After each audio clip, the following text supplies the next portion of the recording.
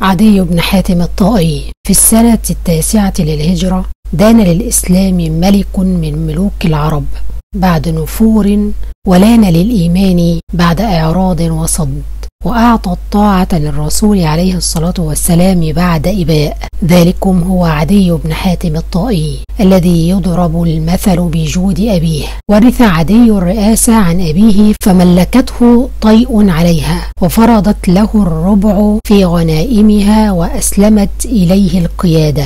ولما صدع الرسول الكريم صلى الله عليه وسلم بدعوة الهدى والحق ودانت له العرب حيا بعد حي رأى عدي في دعوة النبي عليه الصلاة والسلام زعامة توشك أن تقضي على زعامته ورياسته فعاد الرسول صلوات الله عليه أشد العداوة وهو لا يعرفه وأبغضه أعظم البغض قبل أن يراه وظل على عداوته للإسلام قريبا من عشرين عاما. حتى شرح الله صدره لدعوة الهدى والحق ولإسلام عدي بن حاتم قصة لا تنسى. فلنترك للرجل نفسه الحديث عن قصته فهو بها أولى. قال عدي قد كنت امرأ شريفا وكنت نصرانيا وكنت أسير في قومي بالمرباع فآخذ الربع من غنائمهم كما كان يفعل غيري من ملوك العرب. فلما سمعت برسول الله صلى الله عليه وسلم كرهته ولما عظم أمره واشتدت شوكته وجعلت جيوشه وسراياه تشرق وتغرب في أرض العرب وفي ذات غداة أقبل علي غلامي وقال ما كنت تنوي أن تصنعه إذا وطئت أرضك خيل محمد فاصنعه الآن فقلت ولما ثكلتك أمك؟ فقال إني قد رأيت رايات تجوس خلال الديار. فسألت عنها فقيل لي هذه جيوش محمد.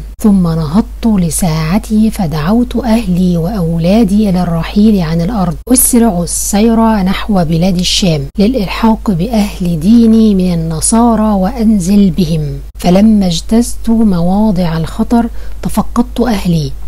فإذا بي قد تركت أختا لي في موطننا في نجد مع من بقي هناك من طيء ولم يكن لي من سبل إلى الرجوع إليها فمضيت بمن معي حتى بلغت الشام وأقمت فيها بين أبناء ديني أما أختي فقد نزل بها ما كنت أتوقعه وأخشاه.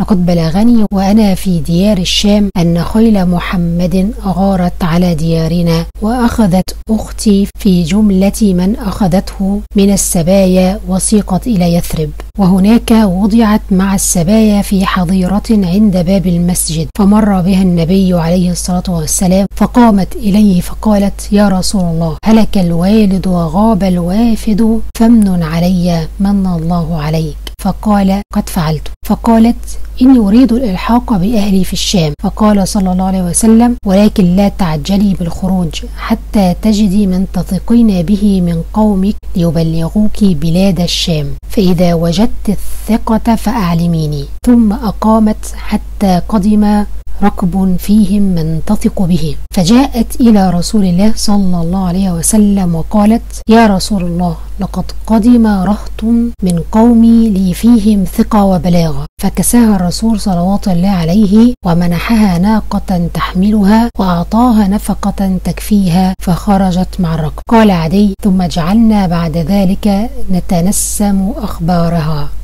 ونترقب قدومها. ونحن لا نكاد نصدق ما روي لنا من خبرها مع محمد وإحسانه إليها. فلما وقفت علينا بادرتني بقولها القاطع الظالم لقد احتملت بأهلك وولدك وتركت بقية والدك وعورتك؟ فقلت لا تقولي إلا خيرا. وجعلت أسترضيها حتى رضيت. فقلت لها وكانت امرأة حازمة عاقلة.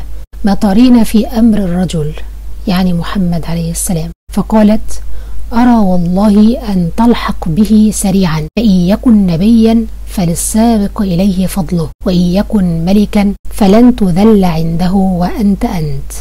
قال عدي فهيأت جهازي ومضيت حتى قدمت على رسول الله صلى الله عليه وسلم في المدينة من غير أمان ولا كتاب وكان بلغني أنه قال إني لأرجو أن يجعل الله يد عدي في يدي فدخلت عليه وهو في المسجد فسلمت عليه. فقام إلي وأخذ بيدي وانطلق بي إلى بيته. فوالله إنه لماض بي إلى البيت إذ لقيته امرأة ضعيفة كبيرة ومعها صبي صغير فاستوقفته وجعلت تكلمه في حاجة لها فظل معها حتى قضى حاجتهما. فقلت في نفسي والله ما هذا بملك. ثم أخذ بيدي ومضى بي حتى أتينا منزله فتناول وسادة من أدم محشوة ليفا فألقاها إلي وقال اجلس على هذه. فاستحييت منه وقلت بل أنت تجلس عليها. قال صلى الله عليه وسلم بل أنت.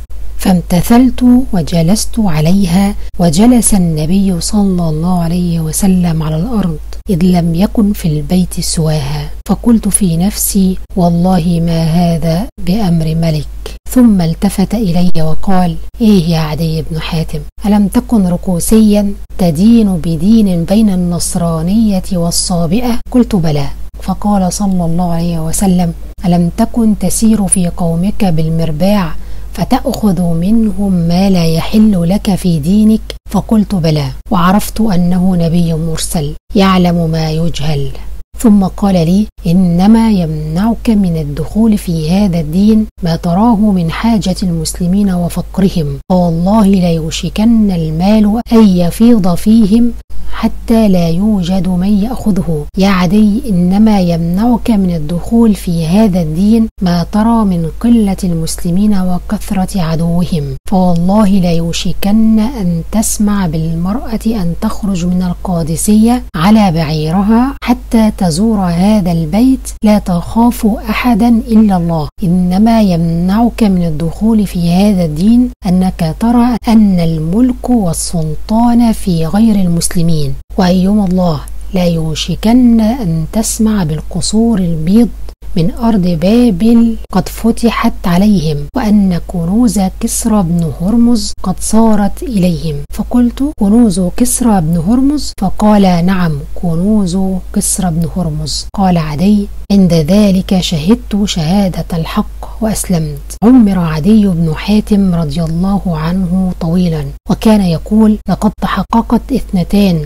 وبقيت الثالثة وإنها والله لا بد كائنة. فقد رأيت المرأة تخرج من القادسية على بعيرها لا تخاف شيئا حتى تبلغ هذا البيت. وكنت في أول خيل أغارت على كنوز كسرى وأخذتها وأحلف بالله لا تجيئن الثالثة وقد شاء الله أن يحقق قول نبيه عليه أفضل الصلاة وأزكى السلام. فجاءت الثالثة في عهد الخليفة الزاهد العابد عمر بن عبد العزيز حيث فاضت الأموال على المسلمين حتى جعل مناديه ينادي على من يأخذ أموال الزكاة من المسلمين فلم يجد أحدا.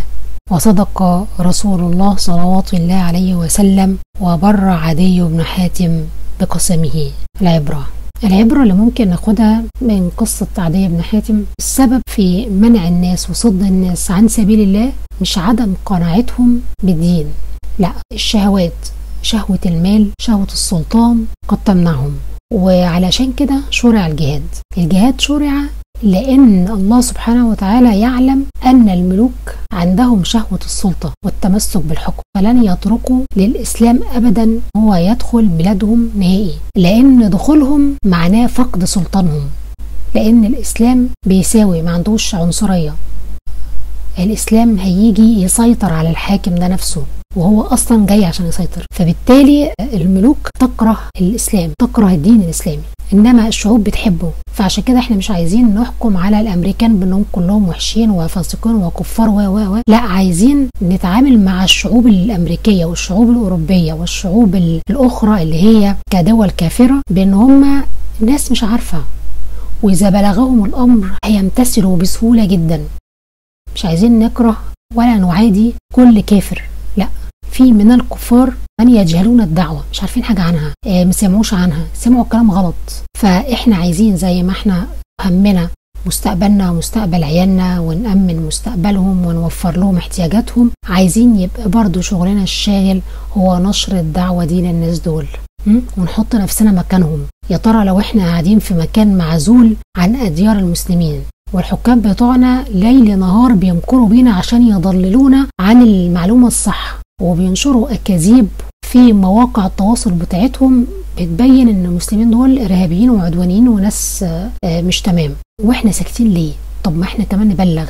فاول في بداية ما النت لسه ظاهر سهرانة بقى عليه طول الليل بتصفح بقى أشوف إيه الاختراع الجديد ده. بصيت لقيت واحد في المنتديات داخل يدعو إلى النصرانية. الساعة كام؟ الساعة 3 ونص الفجر. قلت ياه! يعني أنت ما بتنامش وعمال تجتهد في نشر الفساد وتجتهد في تضليل المسلمين. وإحنا كمسلمين سهرانين على فيلم ولا مسرحية مش في دماغنا خالص لا دعوة ولا كأن الموضوع ما يخصناش. الموضوع ده استفزني. كنت لسه صغيرة مش يعني مش مش قادرة أفهم هو إيه اللي المفروض كنا نعمله. طب هو اللي بيعمل كده؟ فأنا دلوقتي جاي أقول لكم إحنا مش عايزين نسكت. هما ما بيسكتوش. هما مش ساكتين. هما ليل نهار بيدعوا إلى دينهم النصرانية. على فكرة مش زي إحنا متخيلين إن كلهم علمانيين لا مش كلهم علمانيين. أمريكا نصها تقريبا بيروحوا الكنايس وبيصلوا متدينين يعني. فإحنا عايزين شبابنا اللي بيسهر على الميديا بالليل قوم اعمل لك صفحة تنشر بيها دينك. قومي اعملي حاجة لدينك عشان تقابلي بيها ربنا وتقولي يا رب أنا ما سكتش يا رب ما شفتش الكفار وسكت. أنا عملت اللي عليا أنا رديت عن المسلمين. أنا بعت فيديوهات للناس اللي مش مسلمين. أنا استخدمت كل قوايا في نشر دينك يا رب. إحنا عايزين يا جماعة جيوش من المسلمين مش عشان تحارب عشان تدعو بس. والحمد لله رب العالمين ربنا فتح لنا باب الميديا ده عشان نعمل كده. خلاص إحنا اتقفل عنا باب الجهاد. مش عارفين نعمله ولا عارفين حتى ندافع عن نفسنا حتى جهاد دفع مش عارفين نعمله خلاص؟ فاحنا ولا جهاد دفع ولا جهاد طلب ولا دعوة كمان لا ما ينفعش كده كده ما ينفعش كده. المفروض إن الدين ده رسالة غالية جاية لك من السماء نزلت على سيدنا محمد سيدنا محمد عليه الصلاة والسلام وصلها لك مش وصلها لنا لا وصلها لك. خديها كده. شخصين الموضوع هو الرسالة دي جات لك. طب هو إيه مطلوب مني؟ مطلوب مني أنفذ التعليمات اللي فيها. وايه كمان وابلغها كما فهمتها. نفكر تاني في الموضوع بالطريقة دي. وما تنشغليش قوي بالدنيا. أصل أنا دعوة إيه؟ ده أنا عايزة حد يسندني ده أنا بقع ده أنا ما بصليش الدعوة مش بعد ما تستشيخي يعني تبقى داعية لا. أنا عارفة إن إحنا كلنا فاهمين كده غلط. لا أصل أنا لما اتظبط الأول أبقى أنا أدعو لا. صحابي كان يعرف عن الإسلام يسمع بس. هو لسه ما طبقش حاجة. هو بس يسمع عن الإسلام يقوم حالف يقول والله لا أروح إلى قومي وأدعوهم كلهم دخلوا في الإسلام. هو لسه ما يعرفش حاجة. إحنا عندنا أقل واحدة علما في المسلمين. والله عندها استعداد تناظر أكبر القساوسة. ما تستهليش بنفسك. اللي تعرفيه بلغي. ما بقولكيش اتكلمي في حاجة ما تعرفهاش. ما في الفقه وأحكامه. افرضي حد جه رمالك شبهة. أو أنت بتدعو كده قالت لك على شبهة هي مش عارفه يعني أنت ما عرفتيش تردي. قولي لها حاضر هذاكرها وأبلغك. إيه المشكلة؟ إيه المشكلة؟ تيجي لك واحدة بت... بتقول لك أنا بتقولي كلام غلط. طيب إيه اللي يقنعك؟ يعني بلاش العصبية. مش داخلين خناقة على فكرة. لما حد يجادلك في الدين مش بيتخانق معاكي. ربنا هو اللي بيقول لك وجادلهم بالتي هي أحسن حتى ولو قالوا لك كلام صعب. ولا تسألي لنفسك ولا تزعلي. أمال تعملي إيه؟ تقولي لها حاضر هبحث وأقول لك. دعوة فيها نوع من الشفقة على المدعو على فكرة. معلش دول ناس ما يعرفوش بالراحة عليهم. حتى وهم لو أساءوا آه معلش إحنا برضو بالراحه عليهم. حتى لو شتموا وقالوا آه معلش برضو بالراحه عليهم. بالراحه عليهم يا جماعة. خلاص؟ جزاكم الله خيرا. ربنا يتقبل منكم حرصكم على دينكم وصبركم على الدين لأن الجنة مش ببلاش. جزاكم الله خيرا. السلام عليكم ورحمة الله وبركاته.